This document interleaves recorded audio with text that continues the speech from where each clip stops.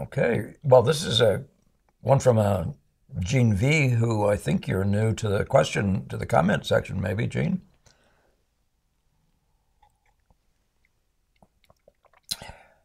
And I'm, I'm going to indulge Jean at the risk of comparing apples and oranges. I mean to do this a little bit tongue in cheek, but I like, there's something about your question that's fascinating, and I have addressed aspects of it before.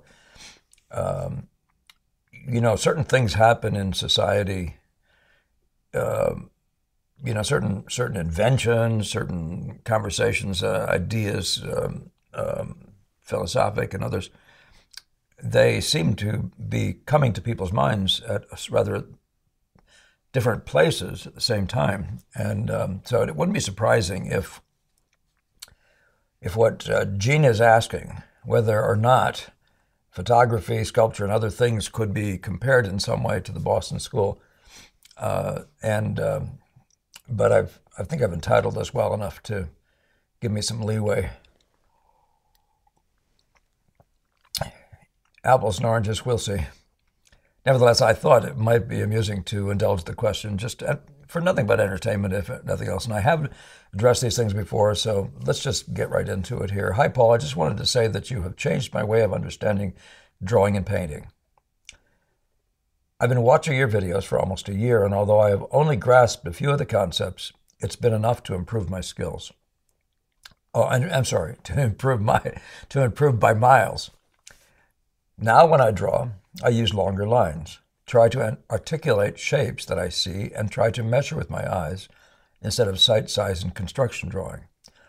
Also, these are all delightful to me to hear, uh, Jean, by the way. I know that they're going to give you more joy and more, some, some things, some, what would you say, some qualities that you've not been able to attain other ways.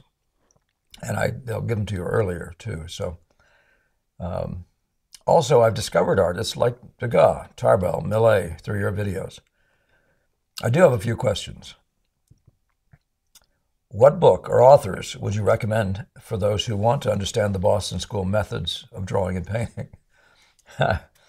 well, that one, I'm not doing this video to answer that question. Um, I'm laughing because uh, of the drag on my book, not getting my book published. Um, getting it out there to you.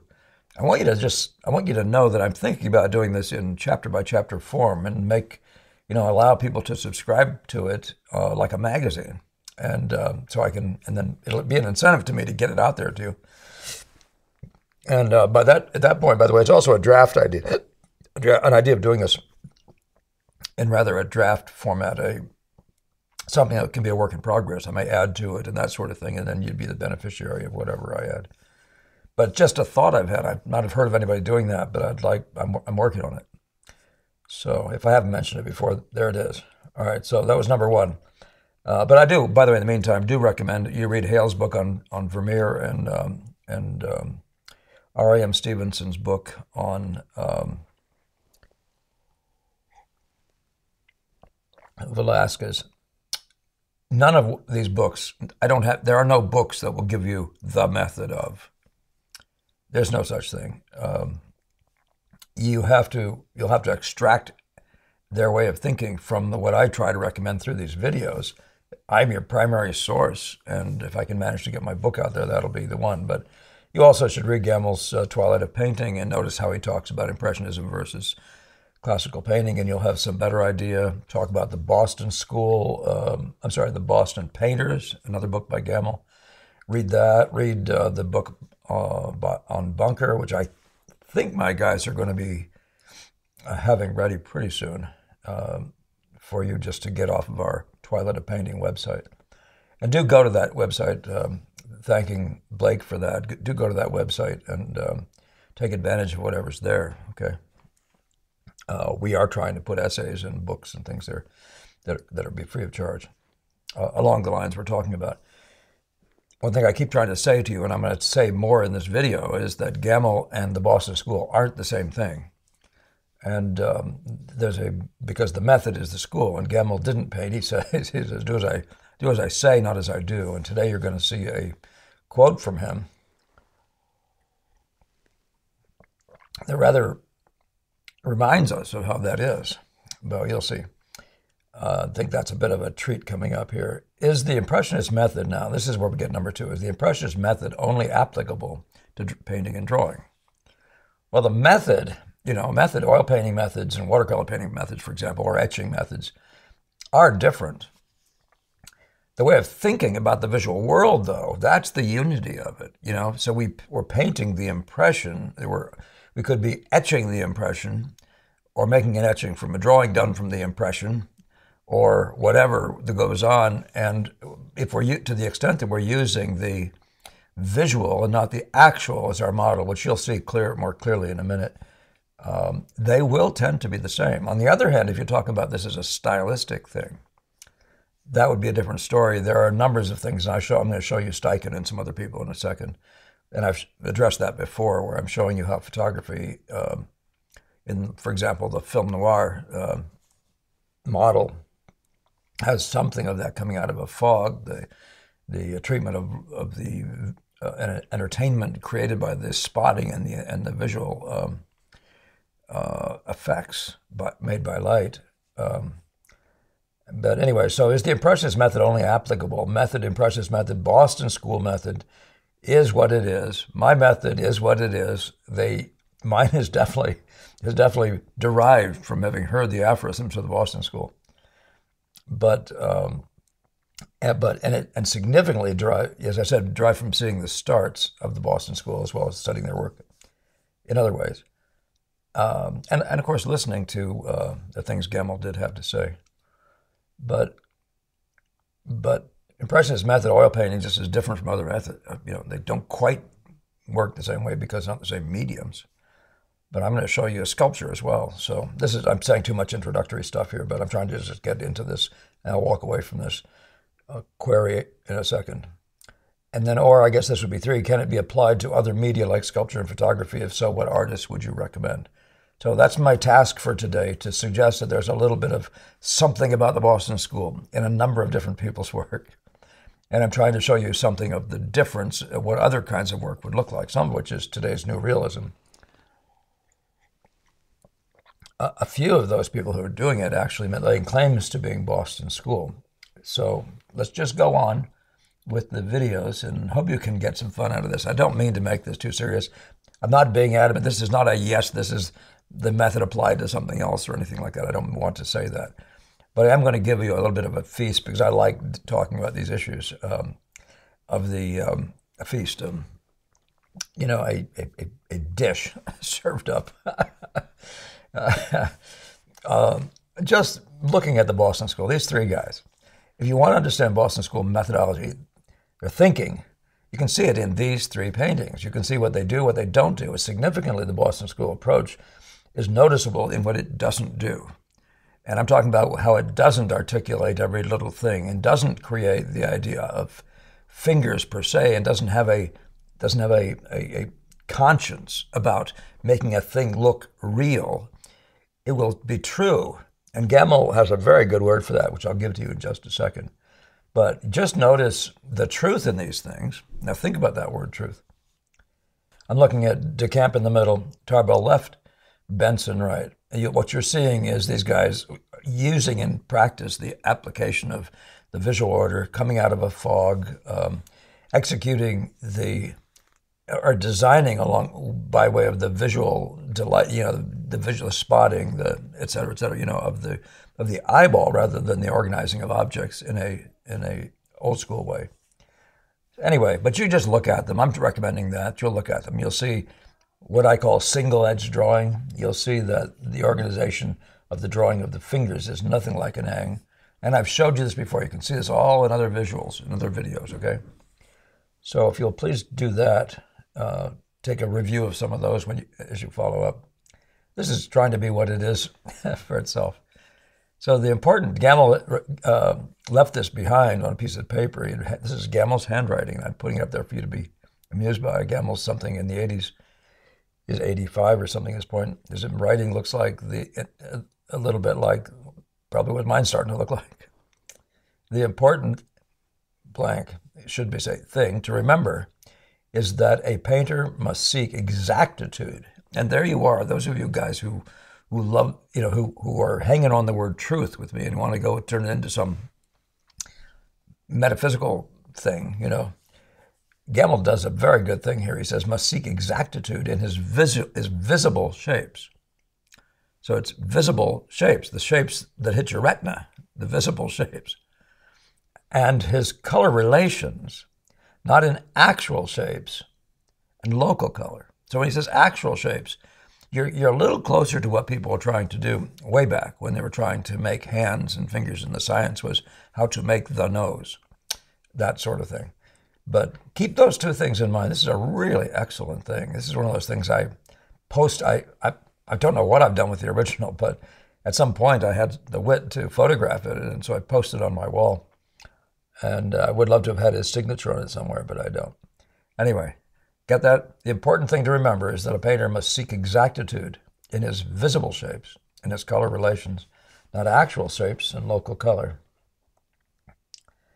And so, um, let's look at how things sort of begin. This is Western art, and you know that the the um, Renaissance was a product of seeing, really seeing classic classical architecture.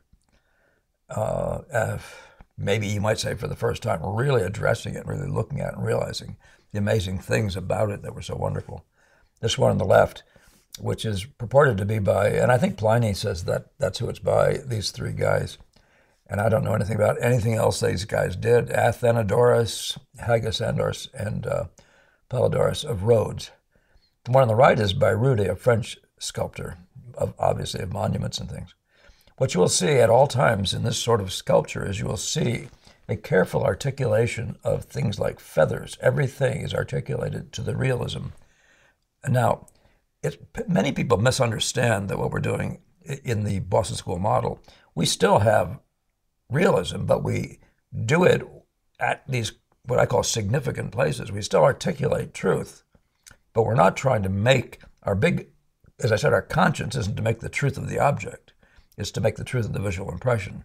So whatever we do do, there's not going to be an exactitude about it. And keep that in mind. Gammell's thing is so important. So just notice this. So you notice, you notice these guys. There's a certain um, uh, drift to these things, a certain uh, you know accent here and blank there, you know, lost and found, coming out of a fog thing that goes on. But this is not what goes on when you're talking about these guys. Everything. Now this is sculpture, admittedly, right?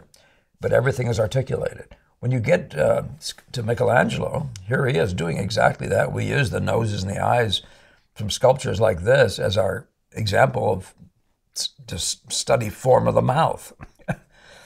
Uh, and notice the one below. I, I, something that's always amused me. So I think on the Giuliano um, Medici uh, uh, tomb. But you'll notice that everything that he's created, he's turned into something. It becomes a feather. It becomes an actual real thing, a mustache, in a literal progressive sense. It's all there, that sort of thing. Now, I'm not saying more about this right or wrong or anything like that. I love these things, and, you, and I'd be surprised if you don't too. Uh, but I'm just, we're differentiating, um, well, which for many you could call style, but it's a look. And it's one of them is more organized around what a thing is and making sure that it, you show in your work the isness of it, right? the actual um, uh, thing itself, make sure it's clear what this is. The impressionist gets satisfaction out of the way things play to each other and the music that's made. It's a different thing. I say that meaning as you get as you get further in to the Degas model, for example. Now here again, you see that this is not in painting. This is the on the left, Raphael and Ingres, his disciple, so to speak, uh, his um, his follower, and much later. But you'll see in this model every leaf is being made, right? Everything becomes its leaf and all that sort of. The leaves in the trees are probably counted. Um, and so on it goes. The eyes and all that sort of thing, they're all done. And so you see the same thing here. Everything is actually literally worked up into this, what we're going to call now realism, okay? Not a very, not a particularly good word, but it is that idea of making an object become fully the object as much as you can on a canvas in a two dimensional world and your skills at interpreting form and and and um, all that uh, become crucial. You know, getting proportions right, um, etc. So, but you'll see, as I said before, now let's just see if I can just jump up there in two seconds. The Boston School thing, and especially take note, say, shall we say, of this one here on the left, and or any of them actually. But just you don't have to look at these hard. Just look at them easy, and you'll see quickly that these are operating from different places. So it's not stylistic. It's actually a choice between whether we're doing objects and telling, saying this is this is in a portrait. By the way, you are doing that but but this is the glove. This is the thing. This is the glove. That's the scarf. This is her room. That's the you know. Uh, that's all something all portrait painters will do, but the Boston School guys will actually stop having gotten a, a quality of beauty in the in the abstractions. They'll stop well before they get to this thing that I call that conscience of the realist. Now, Michelangelo, you saw what he came from, but he's actually evolved. He takes paintings uh, sculptures out of the fog. He actually literally draws forth the figure from a kind of like the mud, you know, and um, and he's he's and he's drawing it forth out of the model in almost a Boston School way. So I thought that was quite amusing to see that that idea, uh, and not nothing. But I sometimes wonder if that was the thing that people saw. People even like like others way you know along the line after, but right up to Rodin, what they saw in his work, they, they gave him an idea because there's something very poetic about this, something very evocative and suggestive in a poetry kind of a way, rather than explicated in the in the and your and your quality of your work became the fine study of the of the many form bumps along the anatomy, you know, and and the and the, and the, and the, and the beauty of that particular figure you you you know you created in the Greek model, you know, the ideal figure or whatever. Wildly, wildly different thing, different idea. And you can see that in the one in the bottom right again. This is the Michelangelo. I don't know why I put a square on that. Huh. Um, but there's a, there's a two sets of reliefs. The one above, maybe the one to the left too, but I, the one above at least is the uh, from the from the um, the uh, gate the gates of hell by by Rodin, where you can see a lot of this visual lost and found stuff, the stuff coming out. And it doesn't mean you'll never see that in, in, in other painter, in other sculptors at, at different times. I'm trying to think whether Ghiberti shows that or not. But Michelangelo's is is um, uh, doesn't take advantage of that in the same way. You know, in the same. It's not trying to. Michelangelo's isn't even trying to sculpt space in that way, like clouds or drapery or mud or whatever these guys are coming out of fire. Um, but nevertheless, there's something that goes on in these areas that actually rather reminds one of the Boston School. And I don't want to make more of it than that, except for this one point.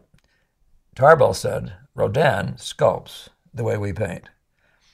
What I would suggest to you is that what he's saying is that Rodin thinks and uses his eyes in the same way as a Boston School guy does, with the idea of what, are, what, are the, what what's the eye play?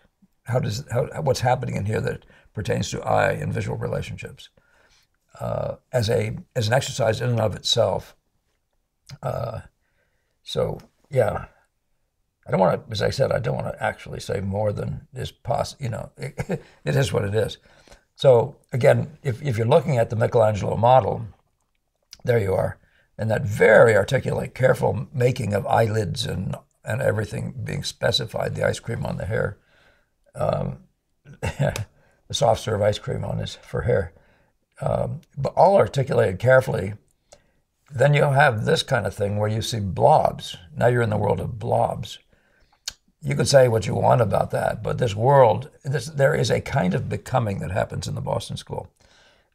So you're, it, it's not like you aren't aware of the same world exactly. You're aware of form, you're aware of everything, but your approach is is is by addressing um, key visual phenomena and noticing what it is as pictorial abstraction, not as form of nose or form, form, form, form, form all day long. But form is just one of the multiple elements. So uh, sometimes a blob of hair, something like that, will be more more highly. It's some part of it will be articulate again. The way Gammell says exactitude, there some part of that will be very articulate and other parts far less said and, and left to, to go in a very similar way to what you see in the Boston School. There's a Victor Hugo portrait. Um, both the left two, I think, are Victor Hugo. I don't know who the right one is, unless it's Balzac. And here's again Rodin, where you can maybe see a little more of what he's doing. And now this is, of course, in clay and not stone or something like that. But but you can see this the visual uh, suggestive stuff, visual, the stuff that's suggestive visually. All sculptors do this on some level, but not the same precise way. There's something about this Rodin, something about even Medardo Rosso and a couple other guys, where it's so self-evident that they're working with the with the way shapes play to each other, more than they're working with this idea of getting a mouth. And I'm not saying these are more than studies. Uh, they are, I appear to me, essentially studies. And that will often show up, these qualities will often show up. And these, the, the idea of suggesting rather than explicating will show up in studies all through history. So I didn't want to make too much of that, but Grafly was uh, a teacher at the Boston, at the museum school with Tarbell and those guys. And to, to, what extent he was also, I mean, you can see there's a lot of similarities um, in his work with, um, well, there's a painterliness in his work. This is a Duveneck portrait on the right. There's a painterliness, which is something sort of characteristic of the of the Sargent slash Zorn slash Boston School model. Um, there's a there's a, a sense of flow and there's an articulation of points and that sort of thing in that way um, that seems to be much more derivative of, of, of or I should say, from um, the eye and what catches your eye then from knowing hair and knowing, you know, these guys do know all that. Sculptors, I mean, their thing all day long is the form, is the ear form. It's always there. But the whether they approach it from that's all in the story. But I don't want to make more of it than it is. I'm only saying this guy did have associations with with um, um, the, the Boston School, Tarbell, those guys, uh, as a teacher there in, in, in, the Boston area. And then in other areas too. I think he taught in maybe four or five different places, if I'm not mistaken. He also is the author of an excellent article in Encyclopedia Britannica. I don't know if they still publish that in the latest versions or if that goes, or where that, uh, I know I had a 1929 version, I think, where he, I think that's where he did it. Could have been a later one, but I think that's what I've got. But you can again look at the same thing. There's a certain great sense of form and a certain articulate. So there's a great sense of the, the great flow and the articulation of points. And he's, he's you know, the judicial, the judiciary or the um, um, judicious rather, judiciary, right? Um, anyway, you can figure out more. I'm not a sculptor. My experience with sculpture is uh, fairly limited, although it was it's real. I actually spent time studying with individuals. But you go back a bit here and you get this drawings by sculptors. And by the way, Leonardo was also a sculptor. But what you're going to see, and this is Alfred Stevens now, the British sculptor. What you see in this drawing is miles away from what you see in this drawing, or this one by Macmonnies even. This is Macmonnies was a student at the Art Students League, I believe. And uh, in fact, I think that's the drawing I tell you about. Not the drawing, but the um, painter whose drawing of a figure I saw and said, "Where is this?" Said to myself and to the register, "Where did they teach this at the Art Students League?" he was an academic figure, but but you can see there's a, a strong visual uh, correlation here uh, in his drawing. Correlation, rather, the approach takes on a bit more of this than this one does. This is much more outline into form drawing. You know, when if you say that, like Degas, that drawing is what happens between the contours, uh, it's a little more like that than this whole idea of who knows, right? This is just the general impression model of Benson. But the older model is literally drawing eyes. And when I was a student with Gammell, he sent us, as a, when I was doing portraits, he, he sent me forward to, to draw in line the eye. So I walked forward to the model and stood there and just studied one eye in the same way as Leonardo here. And uh, that was a thing that he did. When you get to that question that comes up with uh, Hale, when he says, oh, uh, people started noticing, maybe himself, that he was drawing eyes with a blob. Now we're talking Vermeer. Uh, he was drawing eyes with a blob instead of with lines. You're noticing there's something very different going on, and I'm just mentioning it, but I should just run through these because you can just look at them because you can just see where certain people have something in common. Here's Rodin doing an etching. This is Victor Hugo again. Does that look like it could easily be a Boston School uh, articulation? Now, I, to what extent that's a Boston School kind of start, it really doesn't appear to be much of one, but I'm not telling you anything more about. It's hard to judge of what that is. There is a certain amount of visual order in it, but it doesn't. It's not. It's not a. It's not as explicitly so as I try to be in my own work. But here's Zorn. It's actually a portrait of of uh, Rodin himself. But this is where you can also see the application of something like this method, uh, uh, Jean, and, um, this even for whatever whatever we can tell about this. And again, I'm not an engraver either or, or an etcher. I don't do this kind of stuff. But there's a whole lot, myriad of lost and found, and art and drawing of things that are significant, just areas of great significance. And uh, so there's this order visual. Right, you can see that in both of these strongly. In things that are well pushed, everybody gets visual order on some level. But these guys, this is as nice as, as an example as we're going to see, um, where you can see, and you can see it really well in the in the portrait, uh, in the one I think it's called the uh, the oh, it's not called the bus, but it's a picture of something like a bus in um, where these two or three people are sitting and the lights glancing off of them in the Gardner Museum in Boston. But you can see this thing is organized around the entertainment of spots of light and effects of light, and the, the whole idea. I mean, one of the one of the beauties of what the Boston School approach does uh, is it delivers the possibility of doing pictures like where you can't really see the head, and, and that becomes accessible to you far more readily. Anyway, I don't know why I'm saying these. just, but these are two. You can see these two have so much in common with Boston School. Um, a pleasure with light and and and de- delight in distributing, um, spotting, and all that sort of stuff. Creating points of entertainment in a purely visual way. And then Rembrandt. I mean, there's a thing that happened to Rembrandt. Somebody said, I think it was Beltramian. He said, he said Rembrandt, if he if he had only lived half of his life, he wouldn't have been thought of as anything. But something happened, and he, it's suggested in these drawings that something happened. He became a far more visual oriented guy. Um, he didn't have, in my view, he didn't have all that much to lean on in his other way of working. Um, so it made some sense in the process he was going through, trying to make himself into a better painter, to be able to, um, to I mean, to, to, to do research into the purely visual, which is what which he ultimately does. He makes this complete switch and becomes in his in his self portraits become these astonishing exercises that are so similar to the thinking. And it's not, not, not the application of paint and all that sort of stuff is necessarily the same, or even the use of color. But, but there's a certain amount of, of um, visual truth that's gotten well away from formulaic or standards, which you might call standards, meaning accepted norms. Um, so, so in photography, and probably should end it with this, but in the photography, you have those two worlds too. This Eliot Porter on the left is something classically like what he did, like he's trying to be a Renaissance, pre-Renaissance guy, and he's drawing every leaf. You know, he's taking photographs shows every leaf. Every you can go into this thing and look at everything all the way back in through everything. Every single thing in here becomes realistic. Well, you can see the Boston School approach to painting is much more likely to look like this. Now, I'm saying these two are both, as I said, set up in a film noir. It's sort of a lost and found world just by nature. There's the the um, uh, the, the, the mystery of shadow.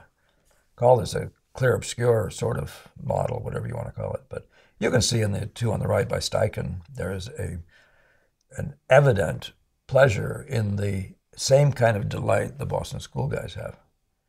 So this point for you, Jean, though, is not so much in your in your quest of whether or not there's you can apply their methods but you can see their pleasure is the same. They're, they're deriving their, their delight. They're finding ways of using the camera to, to, to recover or, or, or, or um, um, you know, to um, expose those, to show those delightful kinds of things that happen when you turn the lights way down or when you or when you uh, or just in the idea of the distribution the beautiful distribution of spots so um, I think I'll leave it at that, uh, Jean. It's one of those things, that I said, that's just kind of you can be amuse yourself with it or not, and you can think this through in other ways. I'm only just trying to, if you just turn off the sound and go through these pictures and think about it, or just let yourself review it that way, I think you're going to get a, you're going to see what that. I don't even have to tell you things, right? You can just, you're just, you're just going to be there. Let's slow walk it back through these images again, just for fun. Keep keep looking at other Rembrandts. Keep thinking about him and look at his different time frames. Now, nobody, I don't think anybody does anything more like the Boston School than Zorn. In that, uh, whether his methodology is the same as a whole other story, I have no idea precisely that methodology. I, I, haven't looked close enough. I have to admit to figure it out. Um, I haven't looked at all his starts like I have at the Boston School. Rodin, the guy that they said uh, that, that Tarbell said is sculpts like like they paint, like the Boston School guys paint. So from the visual, the question is from the visual to the actual. So that's what we're really looking for is to get entertainment, and good sculptors would anytime, but but good entertainment out of this, playing to these guys out here, you know, that sort of thing, or all the foreign players in a in a unity, in a discussion, in an entertainment uh, thing together. Um, some of what you're picking up, for example, this hair could have been matte, but it's very cheeky. And you're, you're seeing corresponding elements of cheekiness in the chin and other places. This is abstract thinking that's characteristic of our form. It's not our sculpting. It doesn't mean Boston School versus something else.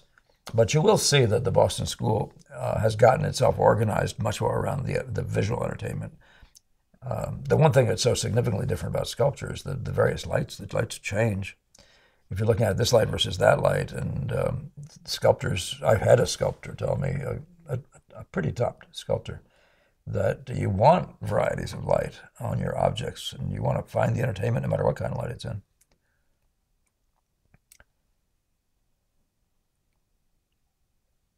The relief is an interesting place to think. I mean, the idea of relief is that it's low but you do less detail, you do shallower form, and it's as if it were behind you in the fog. That sort of thing is, you know, that goes all the way back to Leonardo, that, that model of creating distance. But um, the, the, the entertainment of the abstractions, you know, as a primary thing. Remember, I mean, uh, there, there's a lot of Rodin. I can't tell you I like it all, but there's so, there's so much that just is so fertile with imagination and delight, much like these, which were undoubtedly not intended to be seen as such by Michelangelo. So there's the alternative. Again, and we're sort of the history of classicism, you know, classicism slash academicism wants to live here. And uh, the Boston School is actually a different thing. So, uh, and it's, but it's an approach to painting that if you start, you can start with, you can go this far, you can go this far, which is maybe a little farther in execution, and, or you can go all the way to the point of having the same kind of execution as, as, a, uh, as an Ingres. You can do that. Paxton sort of does it. He doesn't really start quite the same place, though. but you can push that execution. You'll see lots of that stuff going on here. But the way they approach it, the way they start it, they're, at, they're like so directly after that kind of beauty right from the beginning. But method is method, and I'm just showing you sort of appearances, sort of looks that are similar, sort of thinking. There, there, there's, a, there's an implication that the thinking is somewhat related, and that's the best I can do. I would never say these guys are using the same method or anything like that, and I wouldn't, I wouldn't want you to either. But anyway, that's all for today, guys. Thank you, Jean, for bringing that to us, and uh, we'll see you in the next one.